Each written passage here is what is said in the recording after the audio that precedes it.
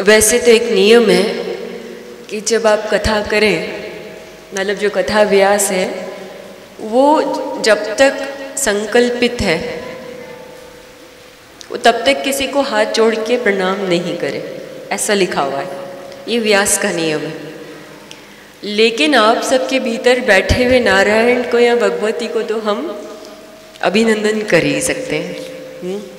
तो आप सबके मन में बसी भगवती का हम अभिनंदन करते हैं और कथा में प्रवेश करते हैं।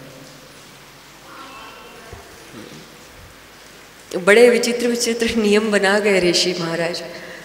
पता नहीं क्या क्या सोच के नियम बनाए थे। हुँ?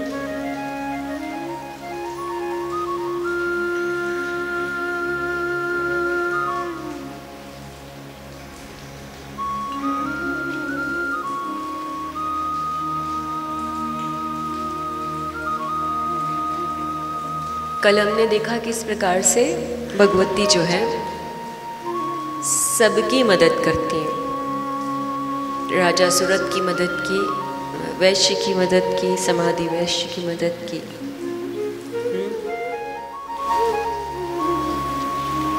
मतलब एक बात तो पक्की है कि हम किसी जाति वर्ण भेद में हों कोई और देवी देवता का भेद लग सकता है? इसका भेद नहीं लग सकता। माँ पराम्बा का भेद कहीं नहीं है। किसी ने हमसे एक प्रश्न पूछा था जिसका गुरु ना हो, वो क्या करे? क्योंकि एक कहावत है, गुरु कीजिए जान के पानी पीजिए, छान के। सत्य भी है। जब तक जान न लो, गुरु नहीं बनाना चाहिए और पानी को बिना छाने नहीं पीना चाहिए। हुँ? क्योंकि ये बहुत सेंसिटिव चीज़ है। इतनी साधारण नहीं है। जल बहुत साधारण लगता है, पर साधारण है नहीं। जल का अर्थ है तरलता, सदैव बहता रहे। तो तो स्वच्छ है। और जो एक जगह रुक जाए तो कुछ समय के बाद खराब होने लगता है। हुँ? कीड़े पड़ने लगेंगे, मिट्टी हो जाएगी, कीचड़ हो जाएगा, उसके रूप परिवर्तित होने लगेंगे। लेकिन बह रहा है तब तक वो पवित्र है। ठीक उसी प्रकार। आप जब तक जीवन के बहाव में हैं, तब तक बहुत अच्छा है। जब तक किसी एक बात को पकड़कर आप गांठ बाँध के बैठ गए हो अगर, कि फला ने ऐसा क्यों करा? तो यानी आपके भीतर का जो बहाव है, वो रुक गया। कभी भी किसी की बात की इतनी चिंता मत करना कि आपकी प्रवृत्ति बदल जाए। दो बहुत मैजिकल वर्ड आज बताने जा रही हूँ। कभी विषम परिस्थिति आ जाए जीवन में, तब क्या करना? बहुत से लोग ये कहते हैं कि मेरे साथ ही भगवान ऐसा क्यों करता है? कहते हैं, दुखी होकर। यहाँ भी बहुत से हैं। क्यों? कहते हैं कि नहीं मेरे साथ ही इतना सब क्यों लिखा है? और कोई नहीं मिला इतने संसार में। हुँ? तब एक शब्द है सो so वॉट सही प्रयोग करना इसका शब्द बहुत खास है। तो क्या? So what why not me मैं क्यों नहीं? मुझमें कुछ खास होगा तभी भगवान ऐसा कर रहे हैं। तो अगर आपको दुख आ जाए तो ये मत सोचना कि मैं ही क्यों। ये सोचना मैं। मतलब आपकी इम्पोर्टेंस है, इसलिए आपको चुना। आपकी इम्पोर्टेंस नहीं होती तो आपको नहीं चुनते। तो सो वॉट वाई नॉट क्यों नहीं? मैं भी। तो इससे जो आपका दुख है, जो कष्ट है, वो हल्का हो जाएगा। हुँ? सारी रिस्पॉन्सिबिलिटी घर की आप पे आ जाए बिज़नेस की आप पे आ जाए तो बहुत से लोग ये शिकायत करते हैं कि सारी ज़िम्मेदारी मेरे ऊपर है। हुँ? मैं ही मिला, या मैं ही मिली। देरानी जेठानी को कुछ नहीं बोलते दीदी को, मम्मी को कुछ नहीं बोलते, भाभी को नहीं बोलते, जिसकी जो परिस्थिति हो। वाई नॉट मी आपको चुना है इसका मतलब आप में वो गुण देखा, इसलिए चुना। तो उस चीज़ से अपना आधार लेना, अपना विश्वास लेना, अपना आत्मविश्वास लेना। हुँ? उस चीज़ को गांठ बाँध के दुख मत बनाना। क्योंकि दुख बनाने से क्या होगा? ऊर्जा कम हो जाएगी। ऊर्जा कम होने के बाद दुख और लगेगा, क्योंकि आज का प्रसंग ही कुछ ऐसा है।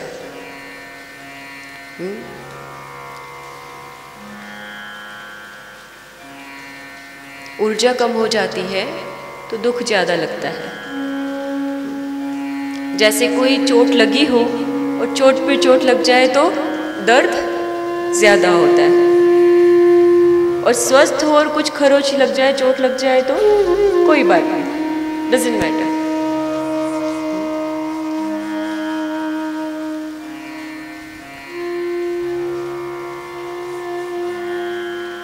और कोई बहुत से लोग छोटी सी बात का बड़ा इशू बनाते हैं, कई बार।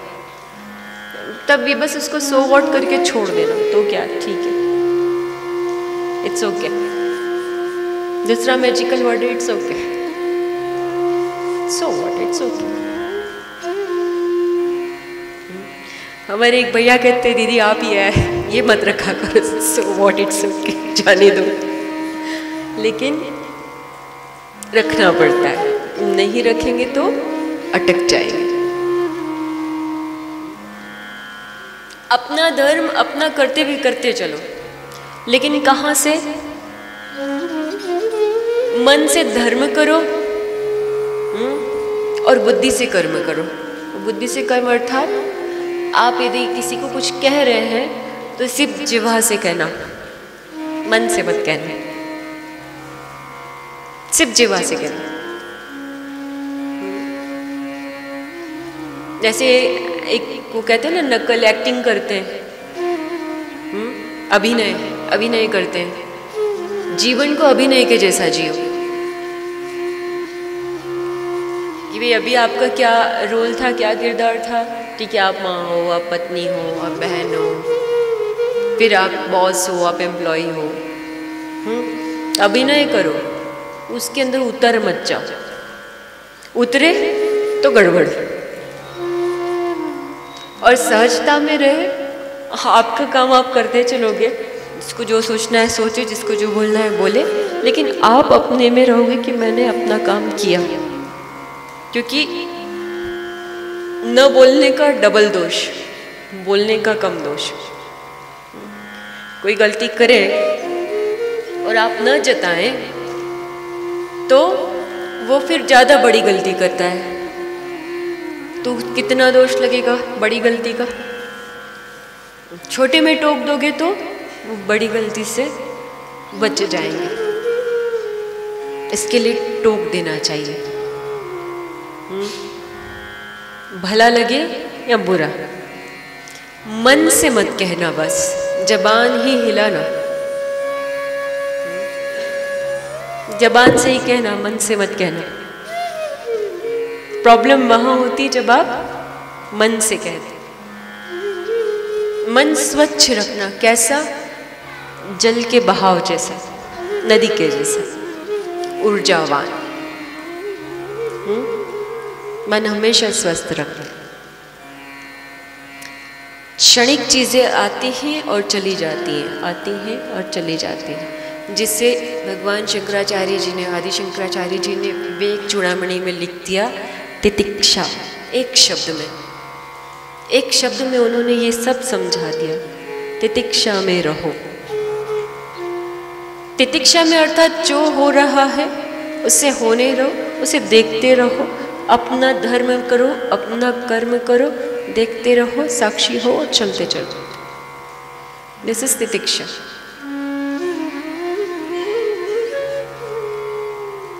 ग्रंथ का नाम ही है विवेक चूड़ामणि।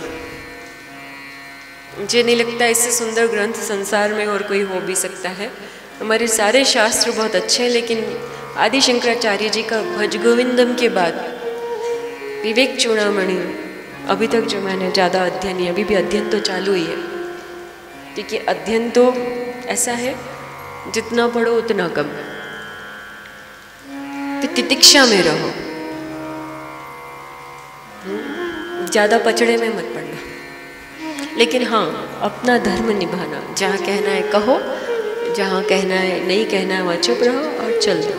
अपना बहाव बनाए रखो।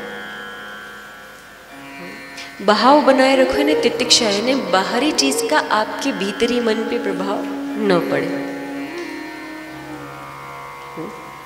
तो तितिक्षा में रहना।